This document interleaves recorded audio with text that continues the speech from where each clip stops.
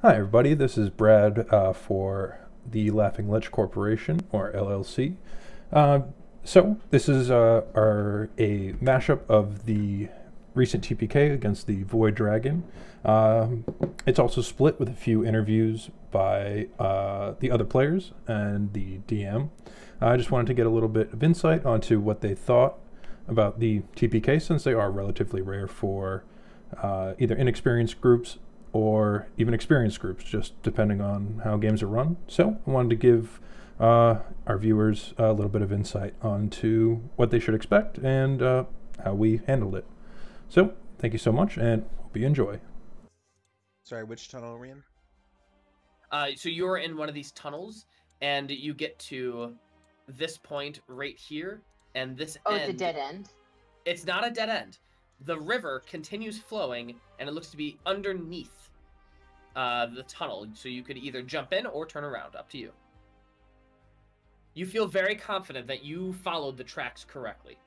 Then we're jumping in. Are you all jumping in? I Anybody who can't swim can get into a bag of holding. I I guess I can go. All right. You all jump in, and as you do, you are swept underneath this tunnel, going very quickly. And you eventually, after about a minute of holding your breath, you guys feel a lurch as you come down the waterfall and enter. The layer. The layer.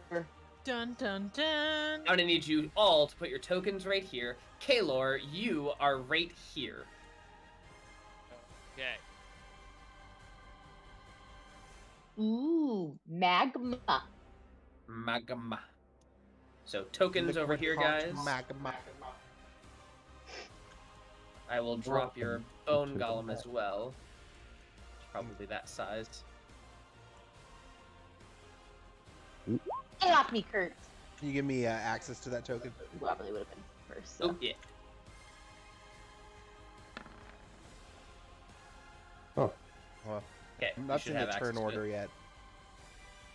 So you guys come down this waterfall, just wee all the way down, and you see Kaelor at the other end of uh, this hallway, hallway cavern, standing on top of a pinnacle, as Nid Kathong is looking at all of you and just saying, "You weren't invited back here. What what brings you to this intrusion?" Listen here, scaly boy. You're not gonna suck the magic out of our friends. Yeah, we're done dragging these nuts all around your cavern. dragon? Dragon these nuts? Anyone? No? Oh my god. Slow You clap chose her. out. Yeah, better than the last time I tried uh, flirting with a dragon. Just gonna If it- slow clap that one out. I was never going to suck the life out of Kaelor. But now that you mention it, Kaelor does possess power. Nowhere near my power. But he could one day. And any threat to me is a threat to Drumguard. And I know that I cannot have that. And you showing up here just must be the sign of the universe trying to tell me that this just isn't gonna work. There are others like Kaelor, I'm sure. Well, let's see what you have. Alright. First, what you guys see in front of you, uh, I'm gonna assume you all swim to like the edge of the, like right there. I'm just gonna assume that Yeah. uh, so you're not in the water anymore. And he just says, Kaelor, I'm sorry, but your friends are the ones who are holding you back. If you would have let them go, you could have been great. Even greater than what I have become. But then, I wouldn't have it. I would not have it at all. And you see him begin to transform getting larger and larger as his skin turns black.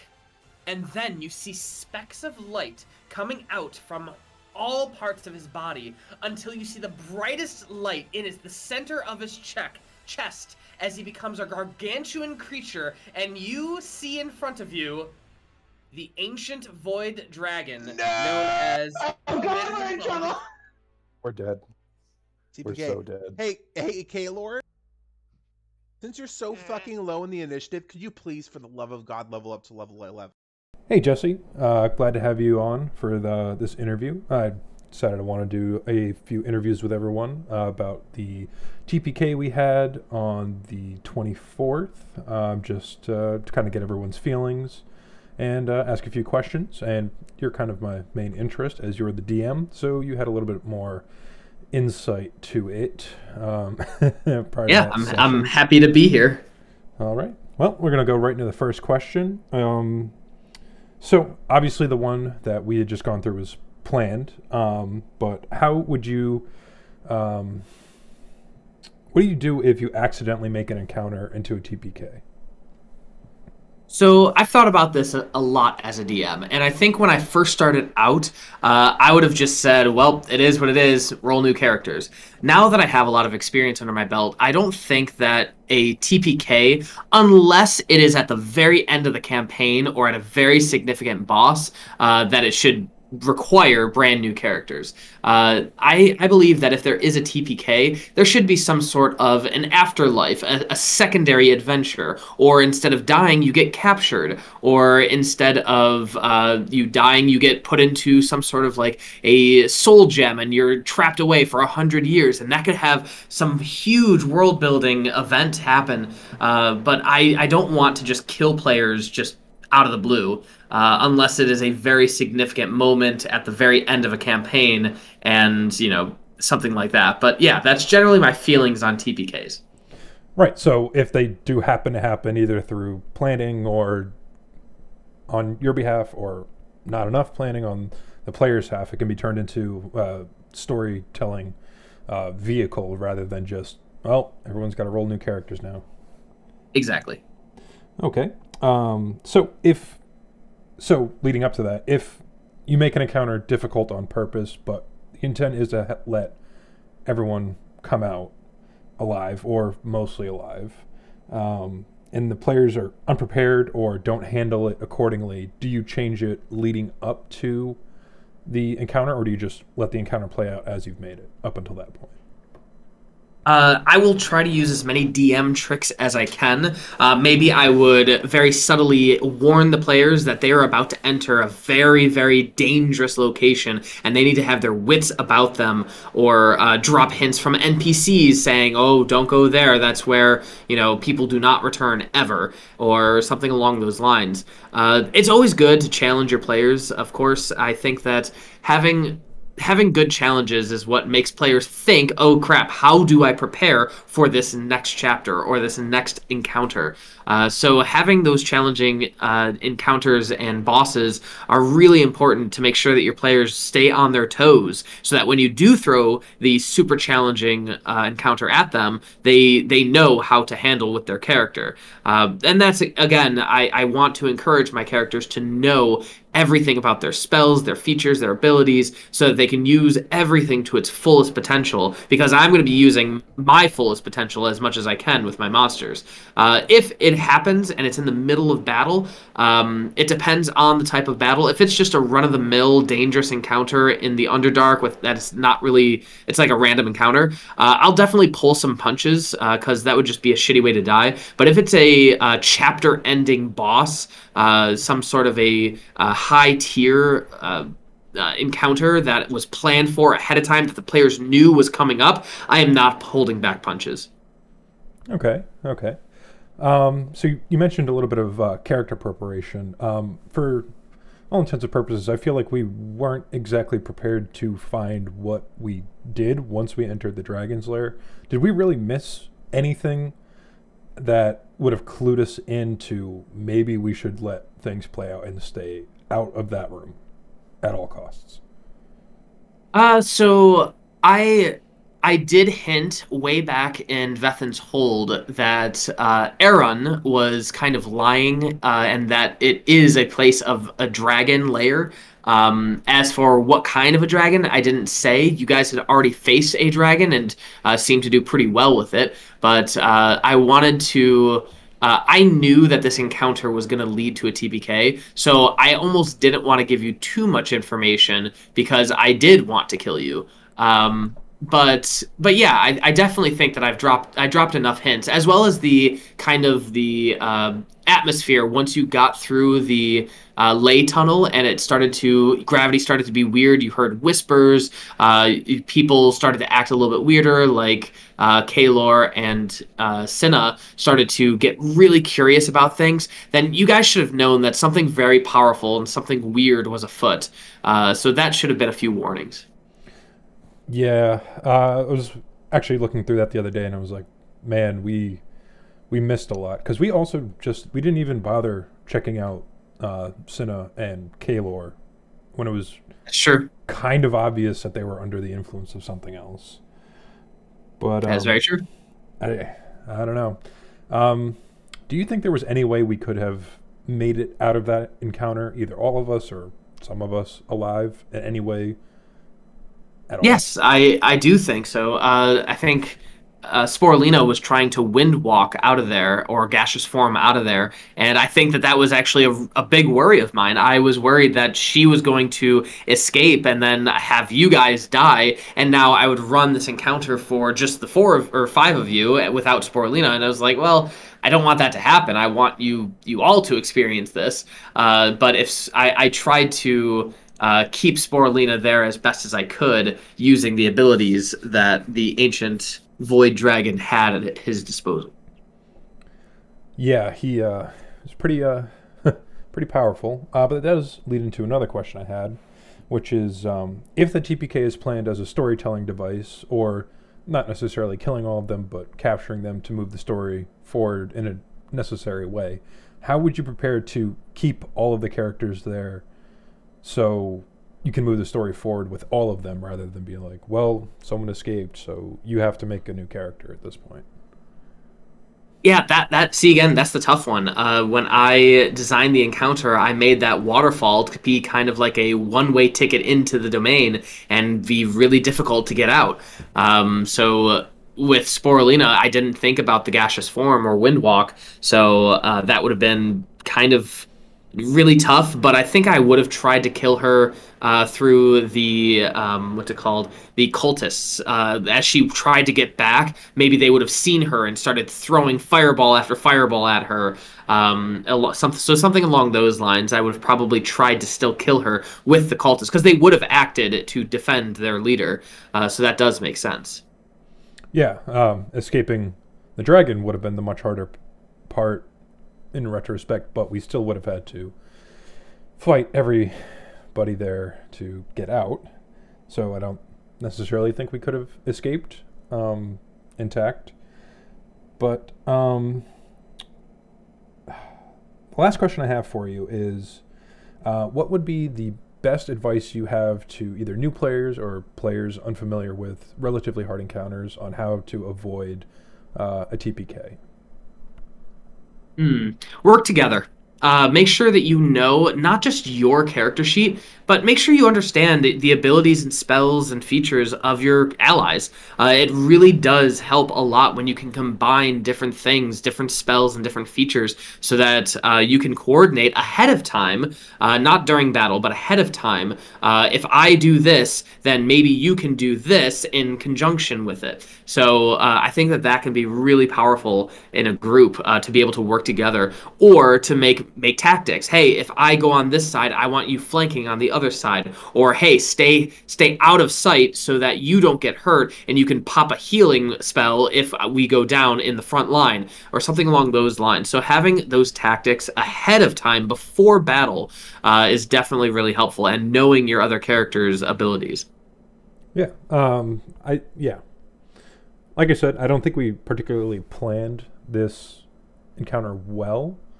Um, normally, we do a pretty good job, especially uh, against Yorgoth. We did a lot of planning for that one. Um, so I definitely think we could have done better. Obviously, as you said, this was the end goal was for all of us to die. So I don't think it really would have mattered too much how much preparation we did. Maybe. Yeah, it it honestly you did do a lot of damage to the ancient void dragon, uh, to the point where I was actually kind of fearful when Elora just dumped in all that smite and tattoo damage. Uh, she did quite a bit, uh, but not enough to uh, kill the dragon. But I was getting worried for a moment that if if more of you had been up and just threw your strongest spell and strongest feature at it, you probably could have killed it. Uh, and then uh, it, it wouldn't have been what it would have been. But definitely when you guys, uh, well, I, I won't share that right now. Got to keep some secrets, right? Exactly. All right. Well, that's all the uh, questions I have for you. Thank you so much for uh, participating in the interview, and uh, hopefully I'll see you on Monday. Yeah. Thank you so much. All right. Hey, Dan. Uh, glad you could join me for uh, the TPK interview. We're just trying to get everyone's opinion on, uh, I believe, the 24th, no, the 17th session, uh, where we unfortunately faced off against an ancient void dragon. So, I'm just going to ask you a couple questions, uh, gauge your response, and uh, let's get started. So, the first question I have for you is uh, How did you feel? Oh, actually, you were in the room before everyone else. So, I have a little couple different questions for you.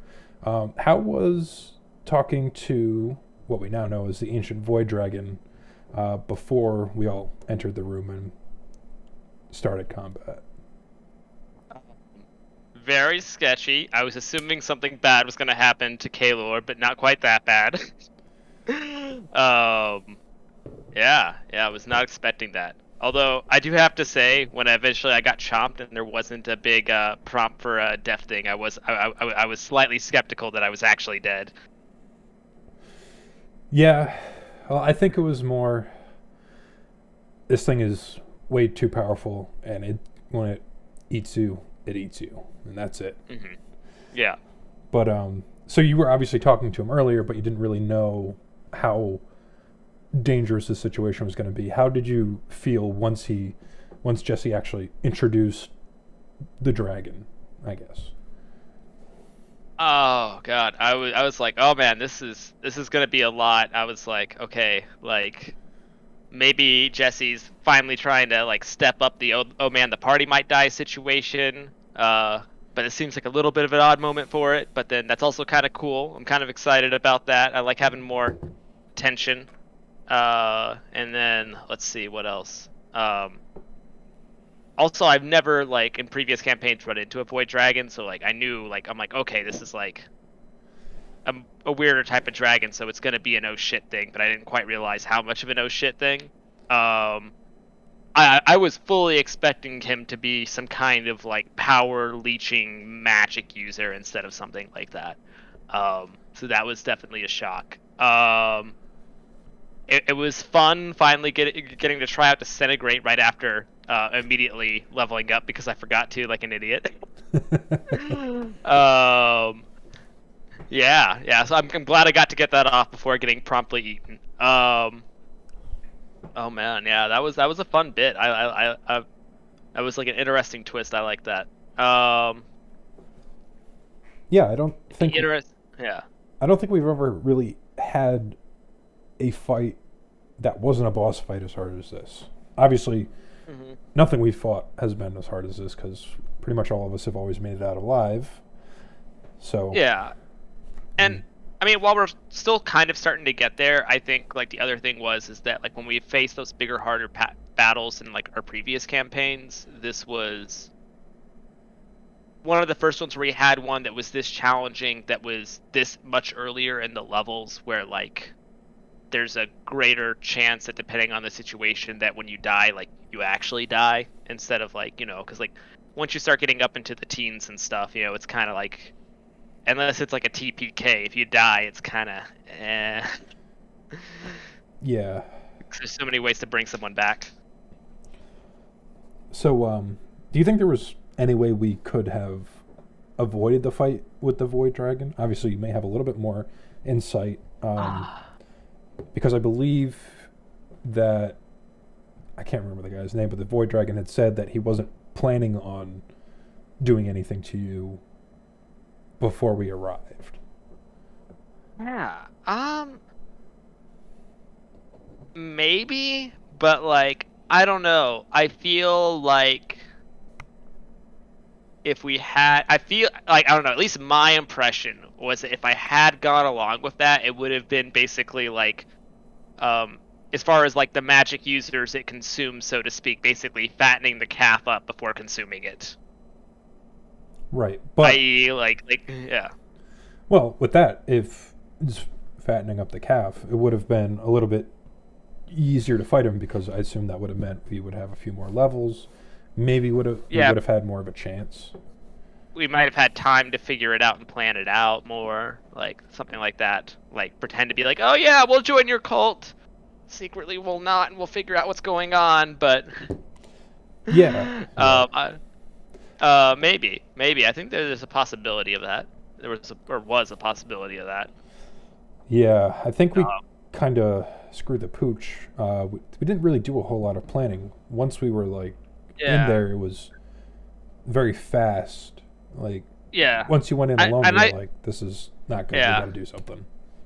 I, I got a feeling that some of that might have been a little bit from the intentional from the setup, but uh, I mean also like because I think like another part of the setup which definitely helped to like us like immediately leading into it was getting the uh, um me and uh, I forgot who else failed the I think it was a wisdom saving throw to um not get all enchanted to be yeah to be all curious and stuff. So then we just kind of were so then i was kind of just like you know trying to force myself into role playing that and just being like oh yeah i'm gonna ask this sketchy guy a bunch of questions like a kid going into the uh, candy van.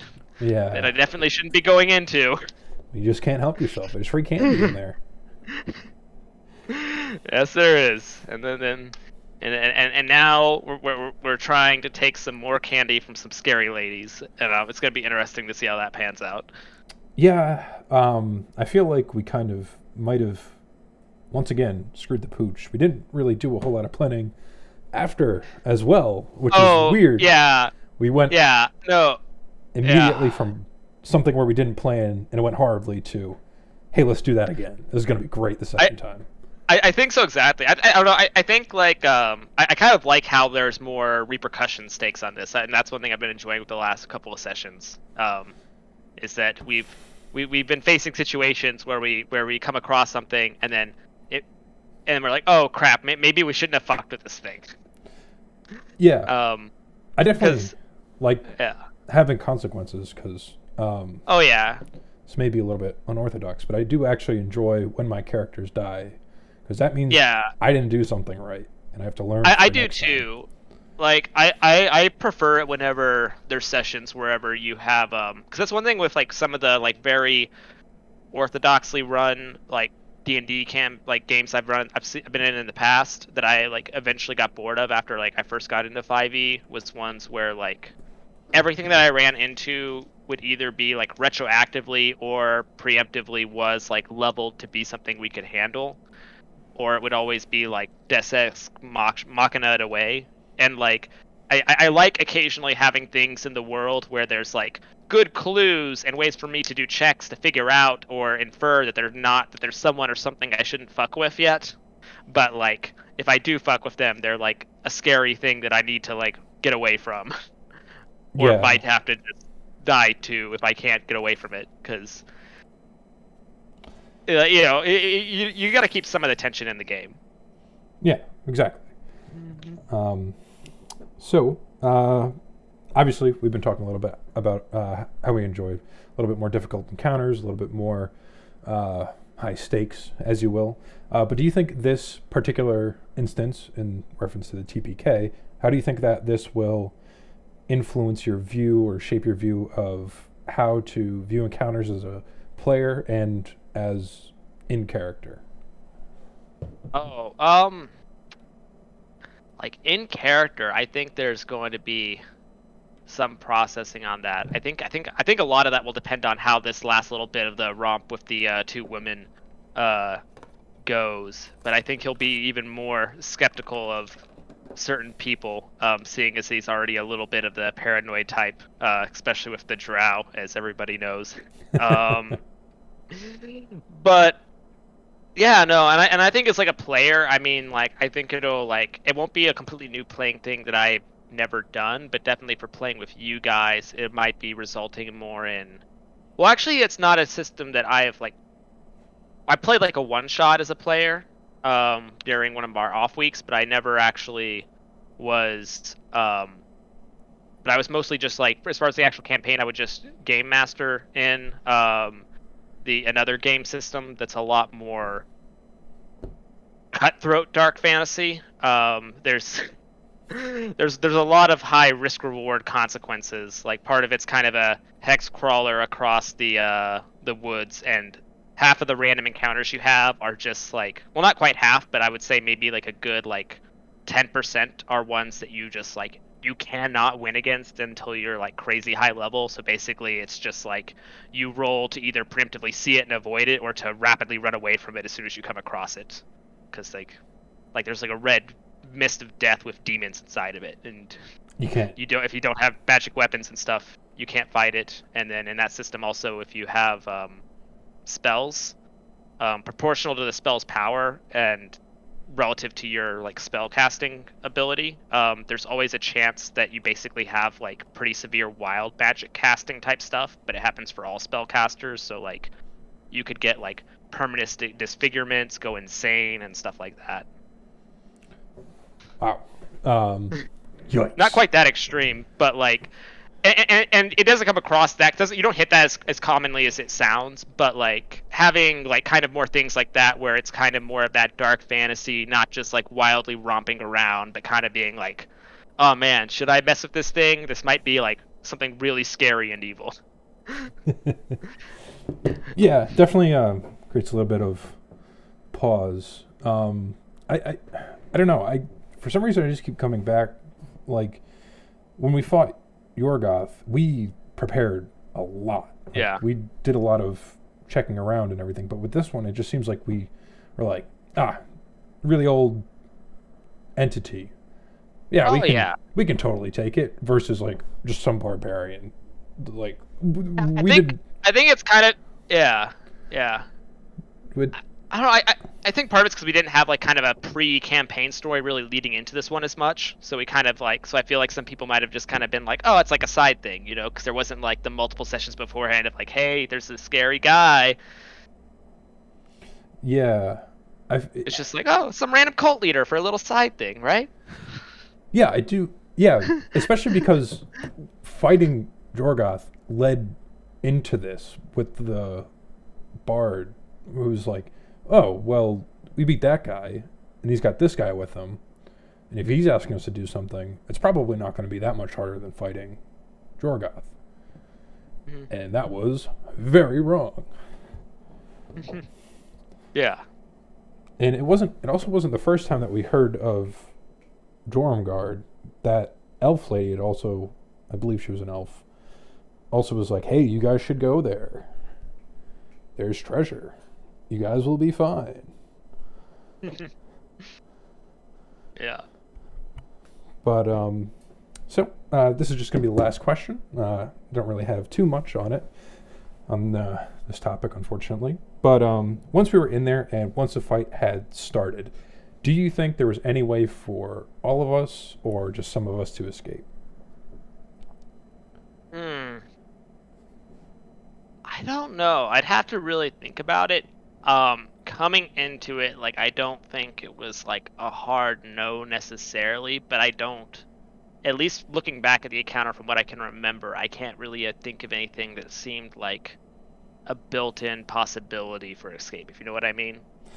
But like, you know, I knowing Jesse, like if he came up with something justifiable enough, like Yeah, as long as we could justify it and it's not something completely crazy, would work. Um, personally, I I really don't think we could have, short of using right immediately, like first person is like, all right, we're just gonna get out of here using this spell I have, because yeah, that that was the only way I could think of getting out was like magically somehow. especially since we couldn't run out. We we came down a waterfall into the room. There was no way we were able to get into a hallway and just run out. Like we would have had to climb. That's wasting around. That would have made it worse. In my opinion. Oh yeah. Oh, definitely. I mean, it's like a giant flying, you know, ranged attack monster. It's you know, it's it's got it's got spells and stuff, um, and can fly around and chase us. So I don't know. We we could, yeah. Definitely should have used a lot more planning in this, but uh, actually kind of glad about the outcome. It's um, it's different than what we normally do, and um, I think it'll kind of remind us that we're not really all that invincible, and the Underdark is a very dangerous place. Oh yes. Oh yeah. I I, I I think I think having a few of these in a in a campaign are always good to have. Of course. Well, we might not get to learn a lesson from it because uh, it could be permanent, or it could not be. Well, you will uh, find out. But Yeah, uh, well, maybe, maybe we can learn it again in another life. uh, here's hoping. All right. Well, uh, thanks so much for joining me. That's uh, everything I had for you. Um, do you have any questions for me? no, no, it was great going over everything. All right. Well, wonderful to have you, and uh, see you on Monday. Uh, all right, on the dragon's turn, it is going to uh, bite Kaelor, which is an automatic death fail times two, and then it's going to bite again, which is an automatic fail. And as it consumes Kaelor, you see a brightness shine down its throat into the center of its chest. Hi, Sam. Uh, thanks for joining me for this uh, interview about our penultimate session where we faced down a ancient void dragon and uh, didn't really have a good ending, as some would say.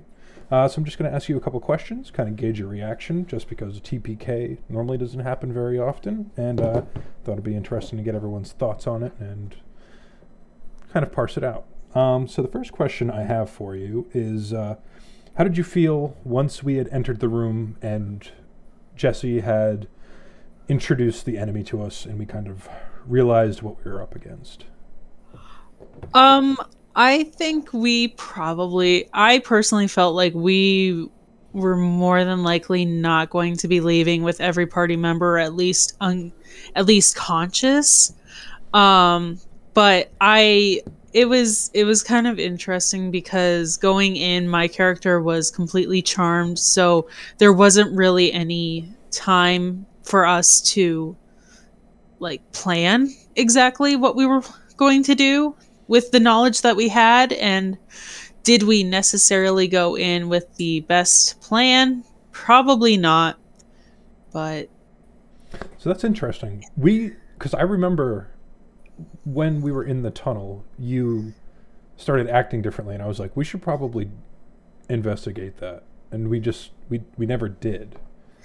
Yeah i mean my character's failed a few times on saves and it's just kind of been i would say non-problematic and not really something to worry about but i i think had we not had my condition be known we might not have gotten the information or it would have taken us a lot longer Yeah. or or we could have ended up going into the chamber itself and finding out then and there that we were facing an ancient void dragon Yeah, um, I definitely agree that we weren't necessarily prepared, but I think it's uh, interesting. Once he introduced the the dragon, you you still kind of thought we were going to get out of that, even though the only way I- out was up a waterfall.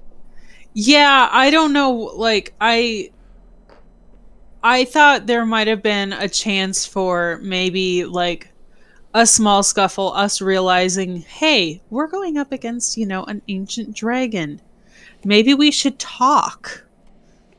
But we didn't go the route that i was anticipating and honestly i i wasn't expecting much of what we were doing to end well but i had some wishful thinking going in Yeah, I uh, can definitely agree with that. Up until we had to go mano a mano, but uh, that kind of leads into my next question of Uh, is there something that you think we collectively as a group could have done to either avoid the fight with the dragon or just not have been in that situation?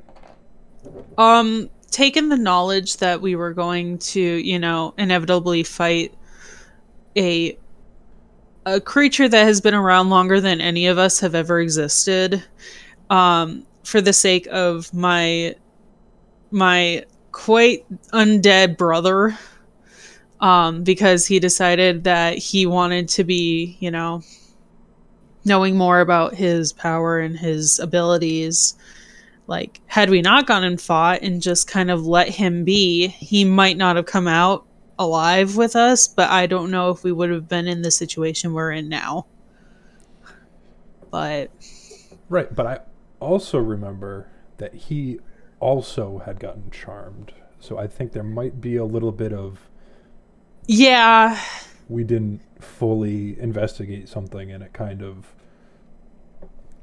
had a couple steps helping us get pushed toward this. Yeah, I have a feeling that we are. I'm I'm completely agreeing with you. I think there were definitely some things that were kind of trying to I wouldn't say aggressively guide us, but definitely guiding us down this path that we could have investigated more. Yeah, I think there was a lot of we need to do this fast kind of a feeling. I don't know why. Normally we plan out our stuff pretty well. This just seemed kind of like a okay, we need to go now kind of thing. Yeah. I, I yeah, no, I definitely agree. I think there was a little more haste in this decision making cuz normally we kind of take a step back, we'll reassess the situation and maybe make a plan or two of how can we get how can we get this situation in our control. And I don't think we did that quite nearly as much as we have in past scenarios, not quite similar scenarios, but in past situations where we had an issue that definitely posed a challenge to us. Yeah, um, it was definitely an interesting encounter that we should have prepared more for. But um, leading into that, uh, how do you think that going through, I believe this is our first TPK, how do you think this will uh, shape your view or approach to different encounters as we move forward past this point? Specifically in character. I was going to say, in character, I feel like Cinna will probably end up being far more cautious about things. I feel like this is definitely going to push some um some distrust on her brothers to, you know, know when to be smart and when to be safe, but I also feel like this might show that our group isn't as invincible as we sometimes feel we are. Um, and maybe going forward we try to strategize a little bit more to um, work with each other's weak or work with each other's strengths and try to um, try to raise up each other through our weaknesses. Like a lot of us have healing spells as far as i can tell. Um, and those I feel are underutilized or we're not using them during fights as much as we do afterwards as kind of a oh here let me bandage your wounds instead hey hey here's 15 points stay alive stay alive Well, I do, I do agree that we don't use our healing spells as much in battle. I know I definitely don't. As a cleric, I probably should be doing that. But I also feel like a lot of the encounters that we've had, we haven't really needed to. We use them when we have to, like if someone's down. But a lot of the time, I feel like we're able to kind of mitigate the situation in a fast enough way where we don't need it immediately during battle. It's more of like a supplemental. This person just needs to get up for one more round, kind of thing. Yeah, I can understand that. I just feel like utilizing I, f- I just feel like utilizing people's um spells for more than like what we're what we're known to d- use them for. So kind of spreading out your spell slots to different spells that you know might not you might not use them as much but they're just as important so like for me i tend to not use healing spells nearly as often as i could but as a bard i feel like it's not going to come into play as much as a bard but i also think it all it plays on how you play your character too because if you're not playing your character as how they would actually act and react to things and you're just playing as a almost like a self insert then i feel like that kind of puts into play too like are you playing as a character or are you just trying to keep the character alive as long as possible That is it's an interesting way of thinking about it. I actually never thought of that before. Um, I do like that though. It is uh, it's poignant. I think maybe a little bit pointed at me as I've uh, died a few times. I'm not. um, I mean, I'm not saying it for anyone. I'm. I just feel like as as someone who possibly made a bit of a self-insert character last campaign because I didn't know what to do with myself or what to do with my character. It's like this time I wanted to play more of a like someone that's not as much like myself as other characters I've played in the past. Mind you, I've only ever had a, a small handful of characters to play as, so it's like usually they're pretty self-insert, but that's just because I'm still relatively new to the whole uh, D&D 5th edition gameplay. But I think I think it's also just kind of that mentality of are you playing as your character or are you playing as you, trying to keep your character alive because you're just so invested in them. Yeah, I I- can see that. Um, it's definitely a little bit harder to kind of get into a character, especially if you're, you know, playing uh, tabletop game, just because most of the actions that you would do aren't are based on more or less luck. Like you can rig it in your favor with your stats, but you you're playing just a character. It's hard without having that self insert to be able to connect to the character. So I do think having a self insert uh, of some point, obviously not your whole self, but there's always a little nugget of truth in every character about the person playing them. At least I think so. I I definitely I definitely agree. I think that like if you are pl- you like you're always going to end up playing a character that has some s- sm- some small part of you in them regardless of how you play them because I think that's almost a self-therapeutic way of not necessarily dealing with with issues in the real world, but just kind of being able to look at it from almost a third person perspective, yeah. possibly. No, I I get it. It's uh, yeah. Uh, I don't know what else to say But- about that. But yeah, no, TPK, this is my first TPK, and it was just kind of.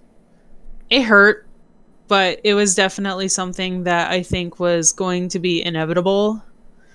Because at some point, Something's everything yeah something's gonna happen. And i just have i just i'm very happy that this wasn't the end of our campaign. Is just the sudden death and consumption of all of our characters by this ancient void dragon. But it'll just be very interesting to see what the campaign looks like going forward from perspective of how our characters interact with one another how we go about solving issues and how the hell we're going to get back on the material plane. Right. Uh, yeah. I mean, as technically it is a TPK, but it's not completely finalized yet. We still have a chance to come back. Hopefully, all of us are able to. So, I mean, there's always chance we all make it out. Some of us do. It might end up not being a total party wipe. It might just be one or two of us completely die. But Yeah. who knows? So, um, I sorry. Uh, sorry, I was just gonna say I and I appreciate the the ability for us to almost have this second chance at kind of redoing our mistakes and maybe changing how we're doing things in this campaign with these characters. Yeah, uh, I mean this uh, this campaign, uh, Rise of the Drow by AAW Games, uh, seems to be a little bit different than a lot of other modules. Like we ran Curse of Strahd before, which is supposed to be kind of a, uh, I guess, grimdark kind of Gothic horror. yeah, but it's not quite as deadly. It can be very deadly, but you have to be either relatively new to the game or just running guns blazing and not really thinking too far ahead. But for all intents and purposes, we did as much research about this place as we could. We just didn't. We either didn't put two and two together or we thought we can definitely handle this. Then we just went in where it was obviously either someplace we were not supposed to be in now or someplace that these characters the characters running the campaign are not supposed to go to ever. Yeah. But um, on that note, do you think there was any way, once we were inside the dragon's lair, that we could have made it out? Either one of us, all of us. It, do you think we could have escaped, or some of us could have escaped? I I feel like there could have been potential that like it's a very small chance I feel like that there would have been a the ability for uh, some of us if not just one of us to escape. I don't think all of us would have made it out of there regardless of what kind of strategy, what kind of planning we had.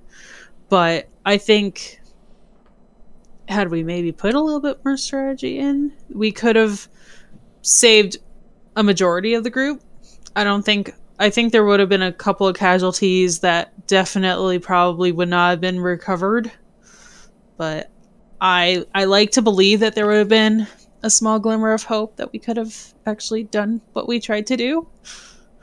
Well, you do have the teleport spell, if I remember I- correctly. I did, but I had a terrible roll on initiative. Yep. I was very low on the initiative, and by the time that I got to my roll, I was basically almost down and out. And it's like, or wait, no, I, no, no, that was for the other. Those were for the other little guys. Never mind.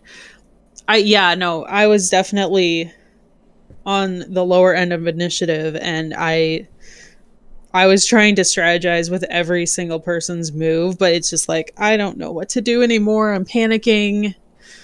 I like I think had we maybe spread out a little bit more so there was less concentrated hit on a majority of us that the dragon could have dealt, then we might have had a better chance.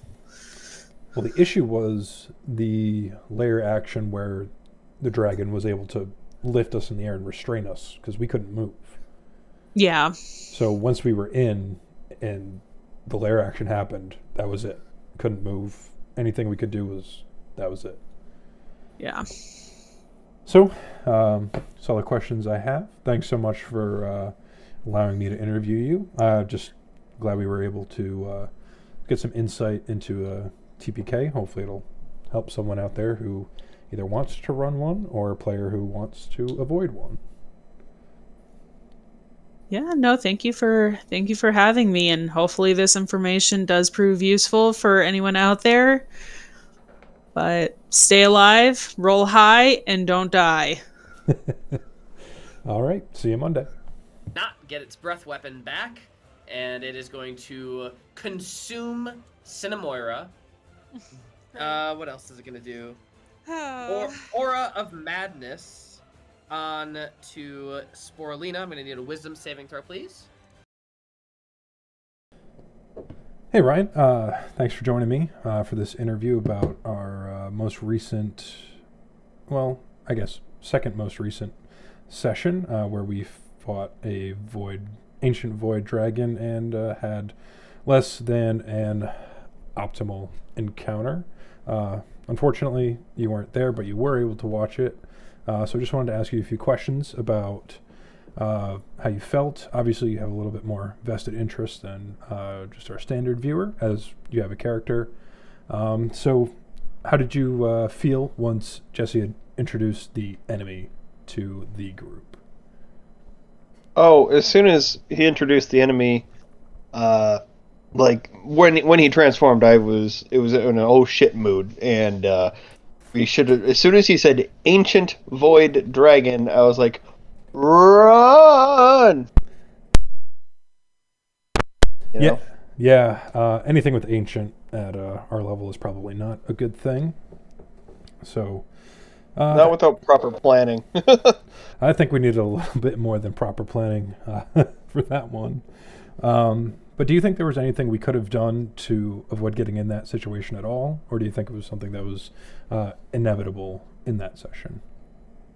Um, I think we could have done a couple things different uh, before we decided to go in there. I think we got some information that uh, I think it was something about the the guy who owned the place was like twelve thousand years old, and I think we kind of ignored that fact and kind of just went balls deep. Um, I think if we would have uh, maybe messaged Kaelor and checked in with him or scried on him to try and uh, ascertain how well he is, that would have been a better move. Um, I don't think that. I don't know if Kaelor was going to die in there necessarily. So, you know, I think we jumped to conclusions. I think, you know, we had the information, we just jumped to different conclusions. And, you know, uh, considering what we were there for, uh, which was to get the aid of a god, that sounds like something that's 12,000 years old sounds like a god to me. Um, as far as uh, like when when the fight happened, I think if we spread out more, like we would have had a better chance. You know, like Morrik could have been very far away shooting a bow, um, and we could have separated a little bit more because we got hit by the fire thing in one shot. You know, uh, circle patterns and you know circling around the enemy would have been a little bit better of a choice, but he was able to teleport, so I get how that could be screwed up immediately. You know, so Yeah, he, there's a uh, couple of things other than running. you know? Yeah, he uh, definitely different than normal dragons, especially with uh, teleporting. I think we would have had a better chance if it was a normal ancient dragon, uh, just because oh. lateral movement Yeah. is a little bit different. Yeah, like oh, take my O attack, you know, not like poop. I'm over here. yeah, exactly. Die now. So, um, after watching that, um, obviously we weren't as prepared as we should have been, or we were a little bit too over eager to get in there as fast as we could. Um, do you think this uh, specific encounter and subsequent TPK will shape the way that you personally will try to approach uh, encounters in the future? Um, I mean, I think you know there. I find it a lot when, while we're playing that I, I I seem like I feel like I'm interjecting too much because I'm trying to bring up points that I think people are missing. And I think if I was there this time, I maybe would have been able to interject and be like, "Wait, wait, wait, wait, wait, no, no, no, no." But uh, I don't think it will inter- it'll change how I go into things. I think if I was there, I would have probably told us all to run, and I would have ran probably. Um, I think that's you know, it's just clearly seeing a situation and knowing when you're when you're down on your luck in that case, like you need to get out. Um, I think I, I think Morrik would have dipped immediately. Maybe tried to get Sporelina to go, but he would have dipped for sure.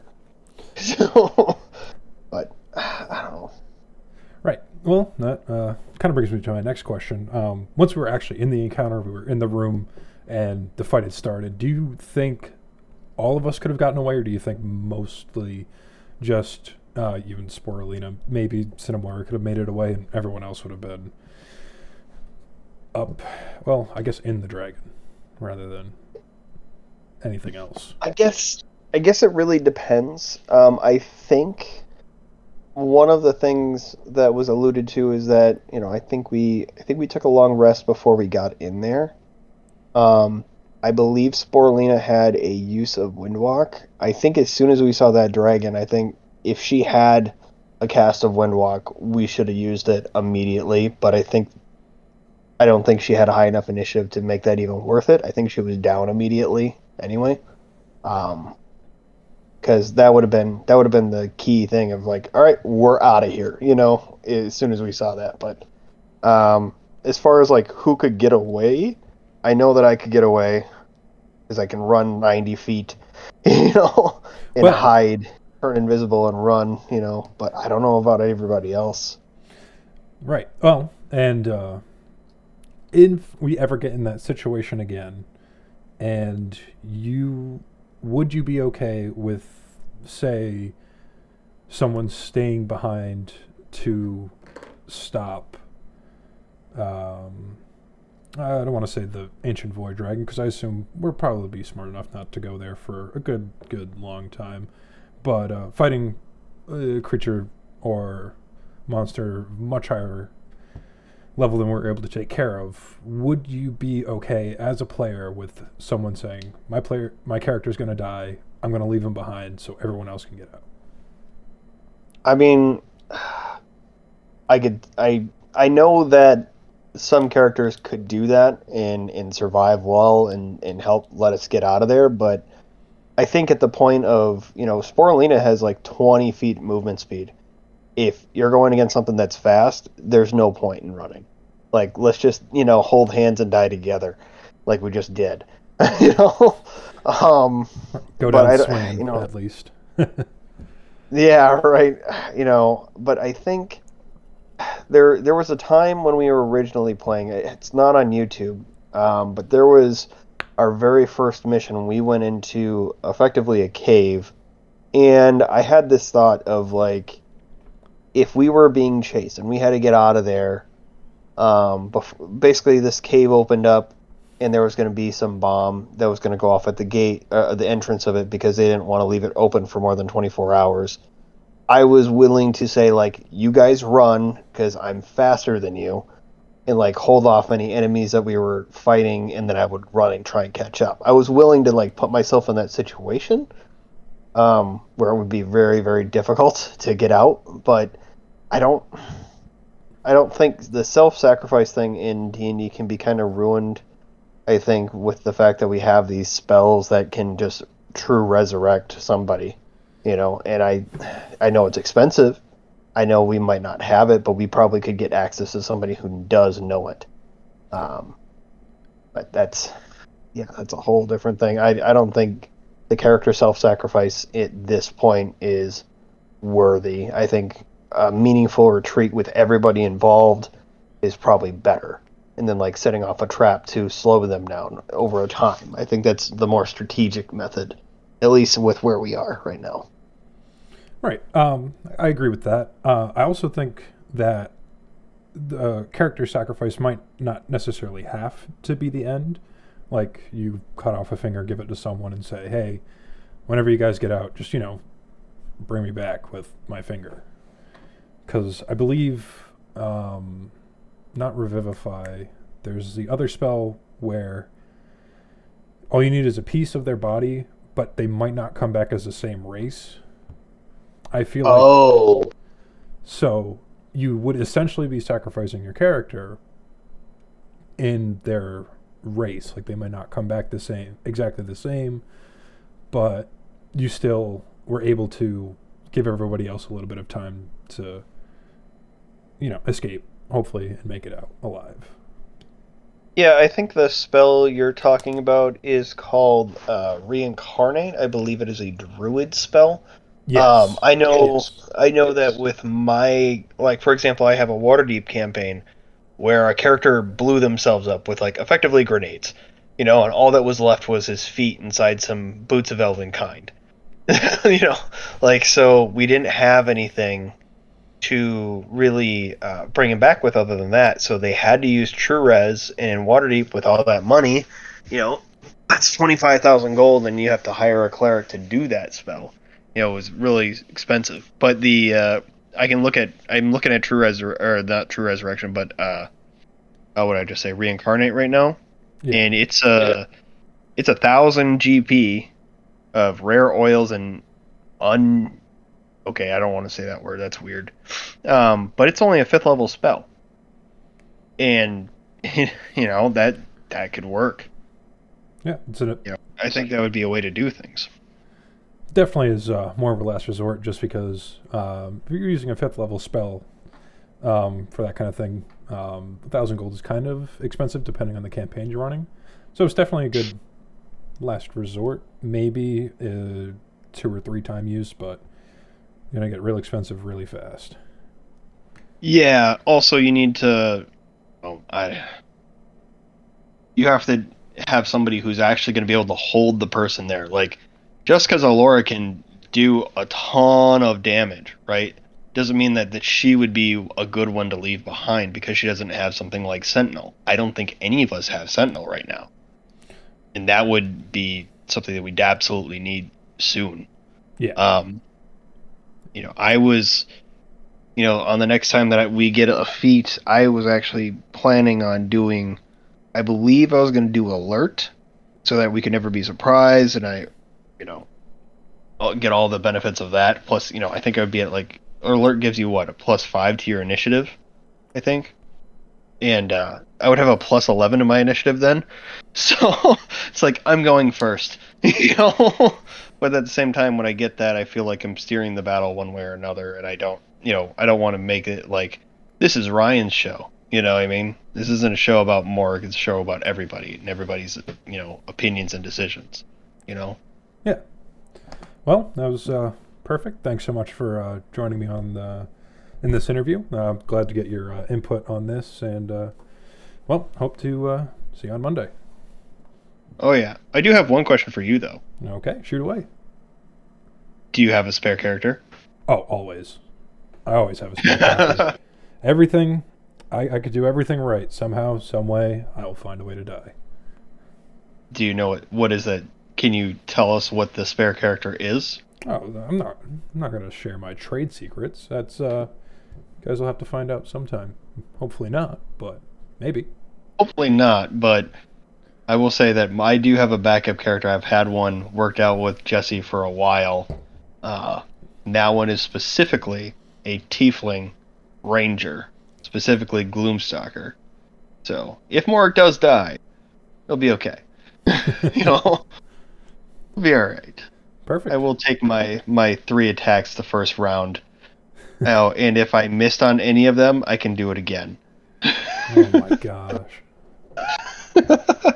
the dragon's turn is going to uh try to it's going to eat use one bite attack on Mork. He is gone.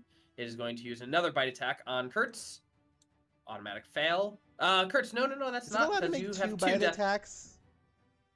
It is the dragon uses its aura of madness and then it makes three attacks. Uh all of them can be bites or claws or tail. Oh, that's weird. Okay. Most dragons can only bite one. Well, also, I'm curious how he's able to bite and consume. Like, biting That- something and consuming it are two different things.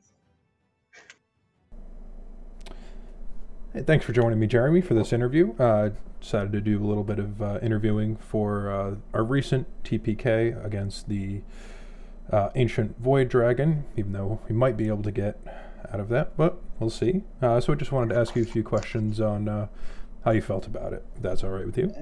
No problem, Ulu. I'm glad to have everybody hear my real voice for once. all right. so uh, just throwing me off right away. Um, so for the first question, uh, how did you feel once Jesse uh, revealed the actual enemy we would be fighting? So, um, I've been DMing for uh, roughly about four or five years and uh, playing for about seven. So as soon as I mean, and one of the things, the first like D and D based things I uh, ever uh, kickstarted was the Tome of Beasts by um, Kobold Press, and actually ran ran a podcast called Hail the Void. So of course, the Void Dragon was one of the things from that book that I was very familiar with. And uh, so as soon as it turned out, he said Ancient Void Dragon. I was like, yeah, we're all dead.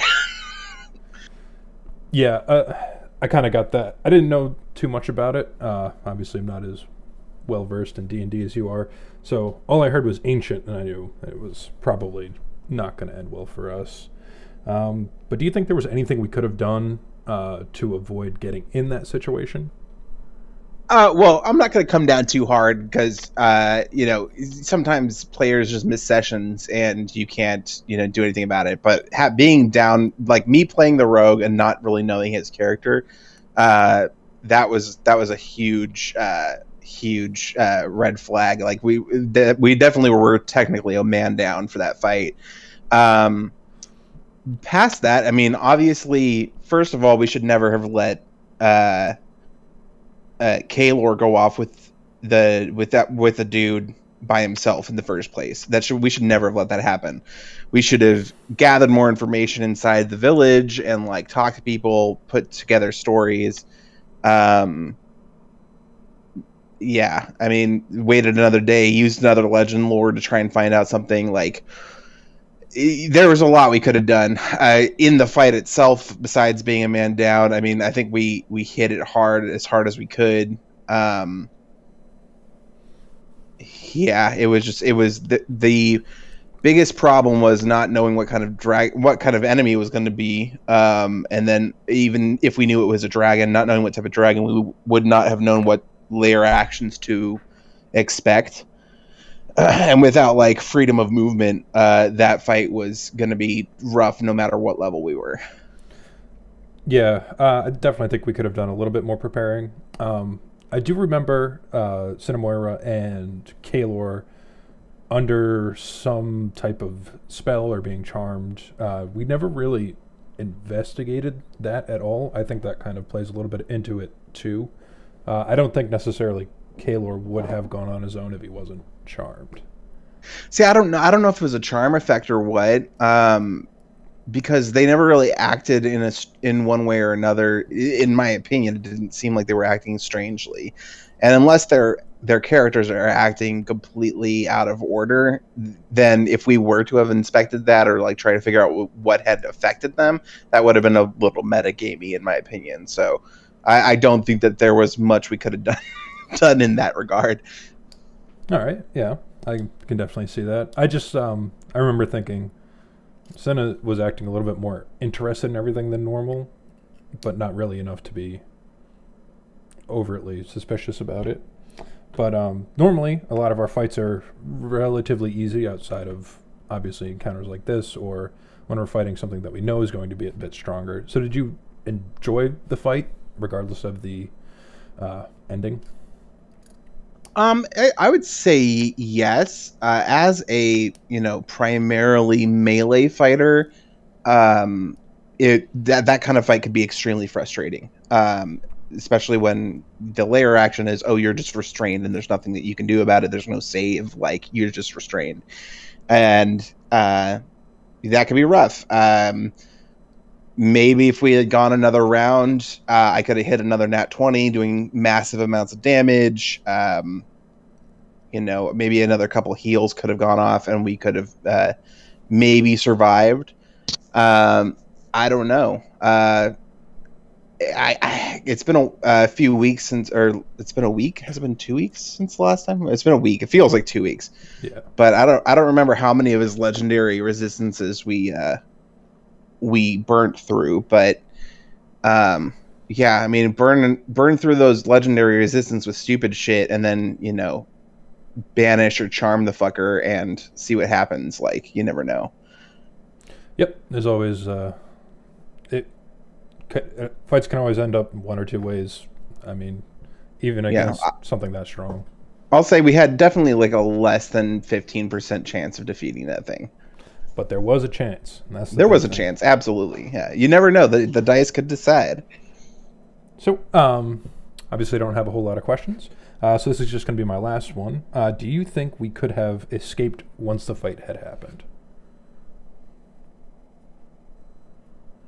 Perhaps. Um, normally, dragons are super difficult to get to like run away from. However, uh, we had just come from like a catacomb like area with like tiny hallways. We so we would have either a forced him to take human form um, and chase us that way, or b try to uh, have him basically follow us out a different way, thus exposing you know what he truly is. Um, to his cultists. Maybe they would have, you know, jumped on us and fed us to him no matter what, or maybe they would have turned on him. Who knows? But uh, it's it is possible.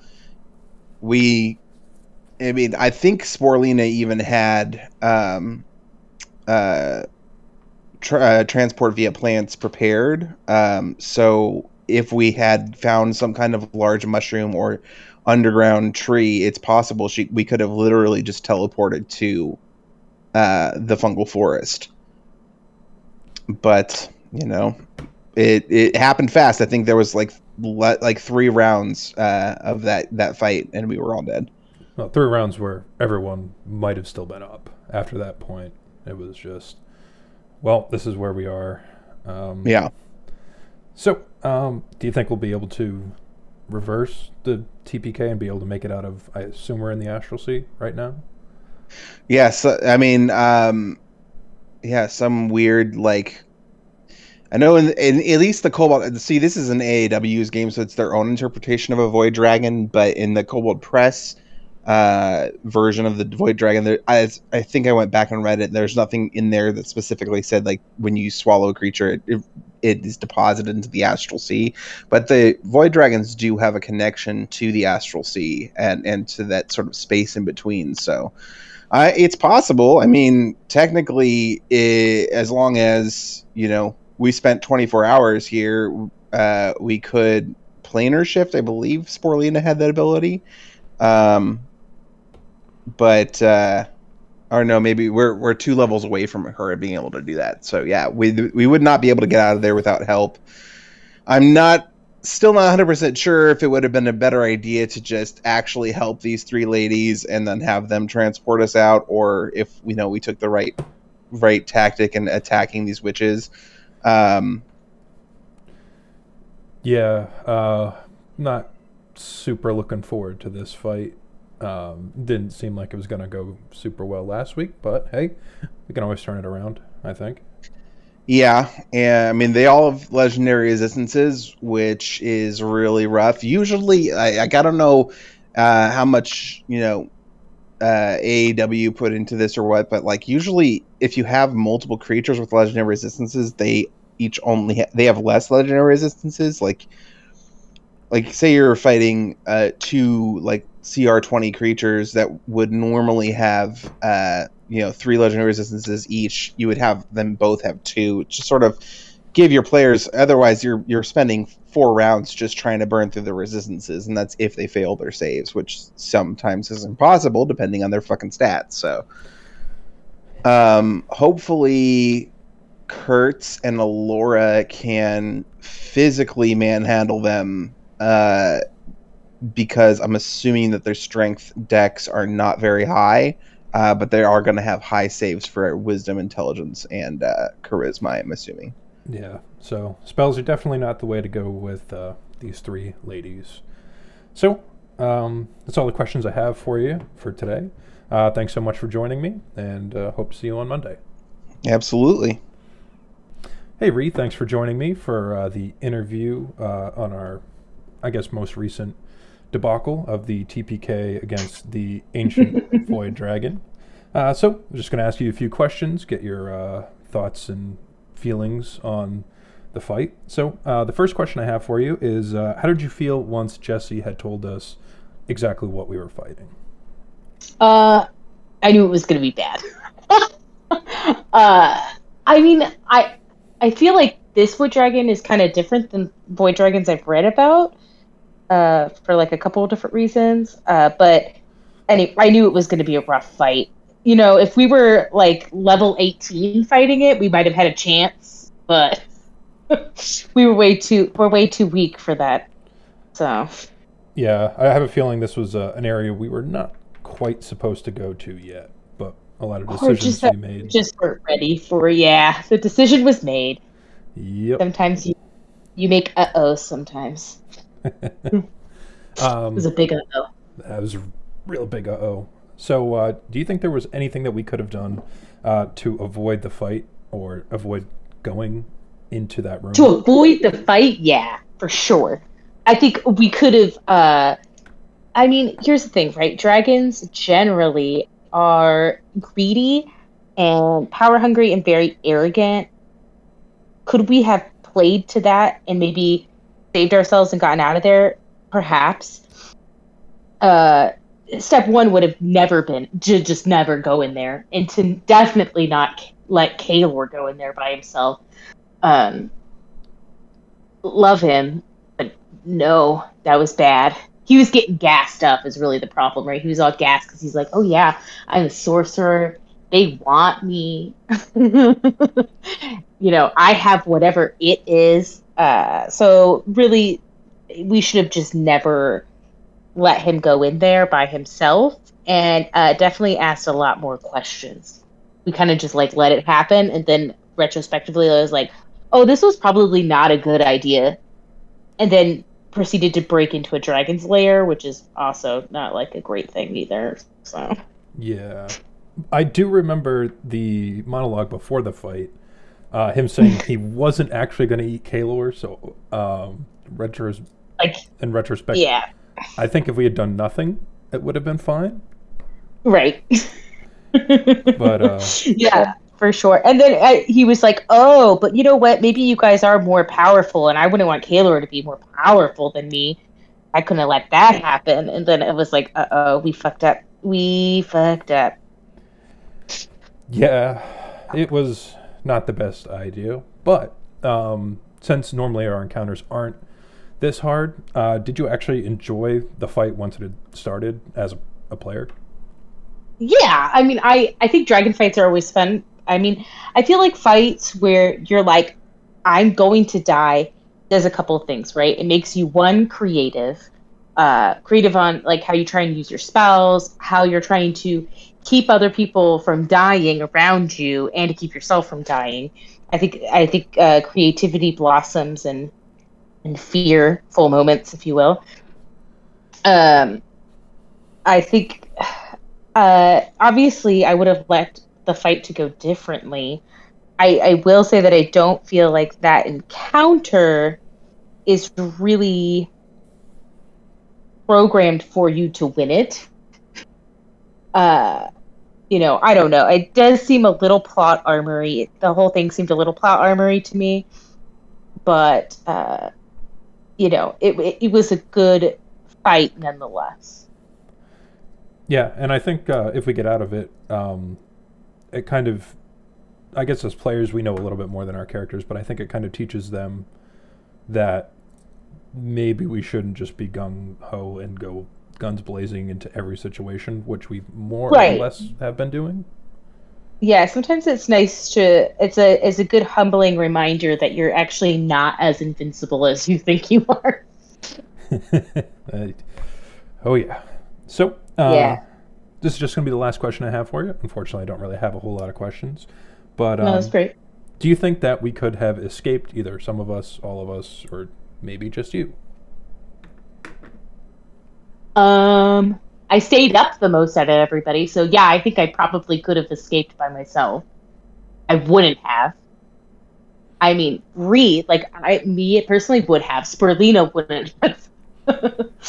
uh, I think mm, if if we had decided the moment the dragon turned into a, a void dragon in front of us, and we were like, "Oh, not cool," and would have immediately tried to leave in some way, uh, we might have been able to get out with limited casualties, but I don't think all of us would have been able to get out of there scot free. Period.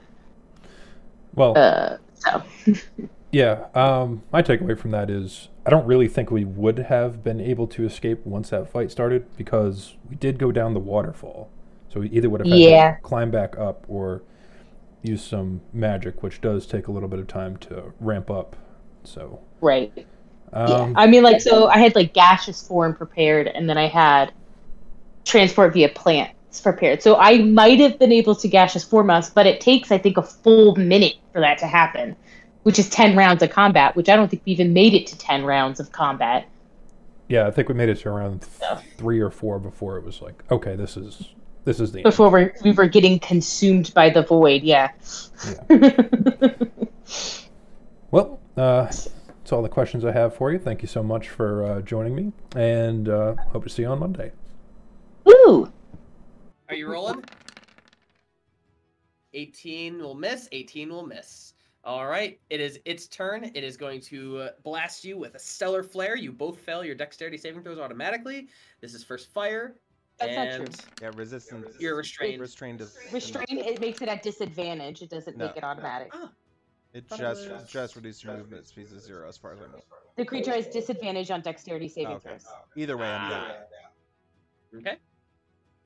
Yeah, I And prob- Scarlet? either way I'm down as well, so it doesn't matter. And you feel uh, yourself after the. Wow, nice roll. the DC is a 24, so. I mean, it's a natural 20 that always saves. No, it is not. I Since don't believe when? that's for saving throws. It's that's only for uh, attacks. Hurrah. But anywho, as the stellar flare engulfs you both, Elora, the Bone Golem, and Sporelina, or what's left over of you, it sucks you back into its mouth and into the chest, and you all see darkness. Hi guys. I hate you. I hate you so much right now. You do not understand. That was pretty funny. All right, well, I hope you guys have secondary characters. Good job. Uh, we will Look up see you all next week. I'm kidding. You all look about you, and you hear nothing. You look around, and finally you look up, and you can see this beautiful vortex. Darkness surrounds it, and a nebula surrounding it you all feel some kind of a pressure on your body as you try to move. But it's so, so heavy on you. You feel around you, and it, it seems like some sort of a sand you are in. As you lift yourself up out of the sand, you look around and you are on what seems to be a platform. That's gonna That Joe that. Dirt. Gee, don't worry about it. And you look up, and this platform is all about stars that is slowly deteriorating into what looks to be a black hole. This platform goes on for quite some way, but it's hard to see in this darkness. And that's where we'll end the episode.